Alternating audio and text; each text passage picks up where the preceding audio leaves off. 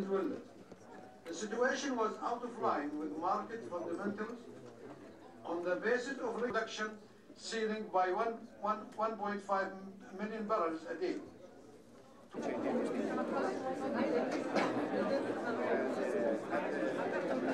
We received the OPEC delegation headed by President of the conference and the Secretary General. We want the consumer to feel secure in his supply, and that's what we are committed to.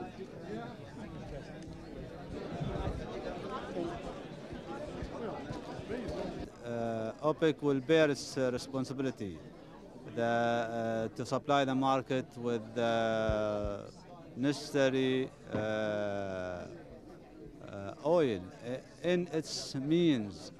Because, you know, as uh, we know, everything has a limit. I mean, that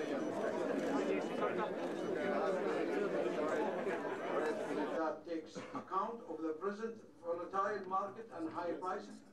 We must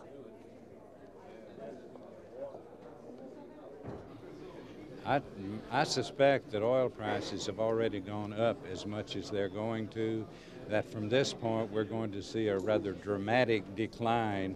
Uh, and I would think that, uh, that over the next uh, uh, month or two, we may see the price is down below $20 rather than up near 40.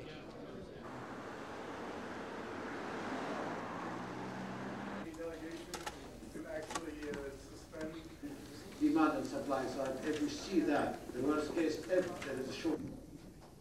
We believe OPEC is a very professional organization. We are not a politics organization.